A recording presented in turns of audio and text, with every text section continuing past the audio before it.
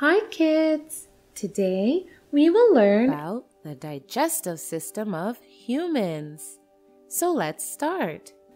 Digestive system is a muscular structure like a coiled tube, which is about 6 to 9 meters long. It begins at the mouth and ends at the anus. It is also called alimentary canal or gastrointestinal tract or GI tract in short. Kids, the food we eat cannot be used by our body as such. The digestive system is an organ system that works together to convert the food that we eat into simpler substances or nutrients that can be used by the body for growth and maintenance. Now let's learn the main functions of alimentary canal or our GI tract. Motility. Moving food through the long digestive tract is called motility. And this is a very important function of our GI tract. And this happens through the stretching and contraction of muscles in the GI tract.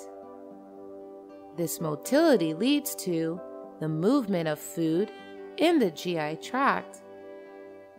Digestion. It is the most important function of our digestive system. That is, the breaking down of food into simpler substances or nutrients that can be used or absorbed by our body cells.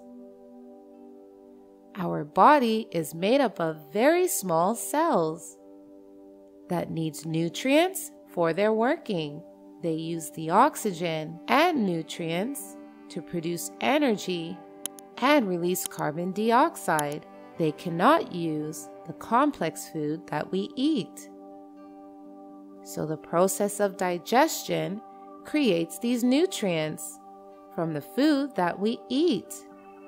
Next important function of our digestive system is secretion. Secretion is a process of releasing chemical substances from a cell or gland in our digestive system, many digestive juices are secreted into the GI tract.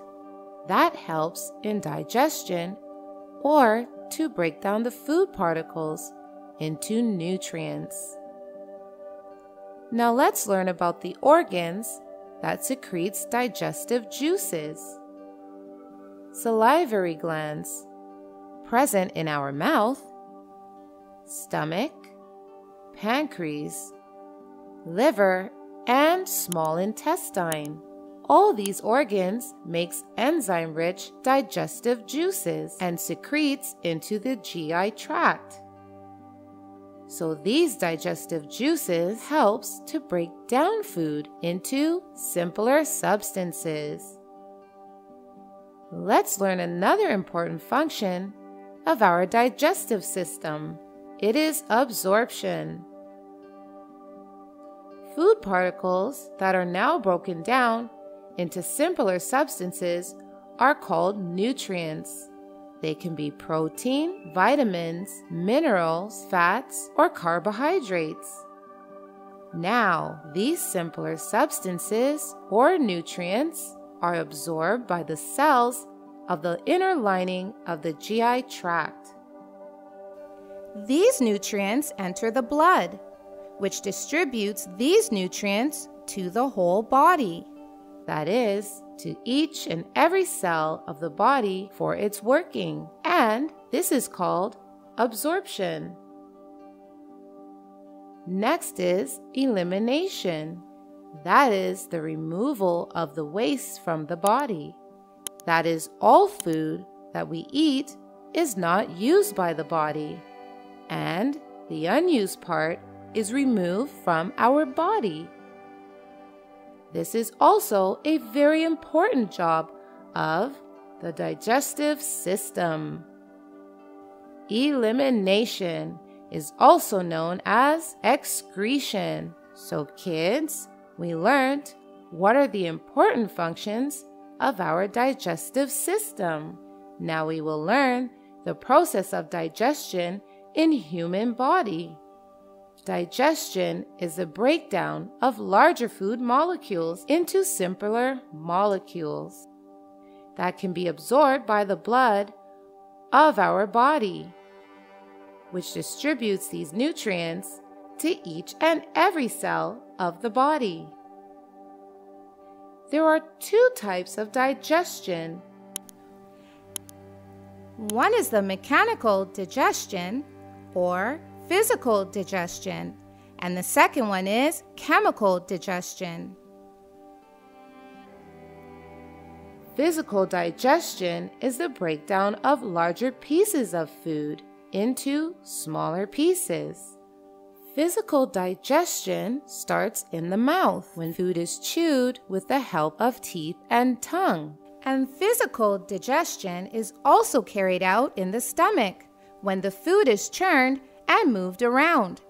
The churning action of the stomach breaks down the food further and also mixes smaller pieces of food with various digestive juices so that it's easy for the other digestive organs like small intestine and large intestine to further carry out the process of digestion. Now let's learn what is chemical digestion. Chemical digestion. It is the chemical breakdown of food into simpler substances with the help of various digestive juices. Digestive juices are secreted by various digestive organs. They contain enzymes that break down the larger molecules into simpler and smaller molecules. First, the chemical breakdown starts in our mouth with the action of saliva. Saliva moistens the food that helps in swallowing it and also contains enzymes that start the chemical digestion by breaking down the starch in food. After that, chemical digestion takes place in our stomach and small intestine too. We will learn more about digestion in our next assignment. So, kids, today we learned what is the digestive system, digestion, and also physical and chemical digestion. Now go ahead and take a quiz to learn more. Bye bye. Thank you so much for watching. Don't forget to like, comment, and share this video. And if you want to see more fun videos, you can hit that subscribe button. You can also follow us on Facebook and Instagram for more content. Bye-bye!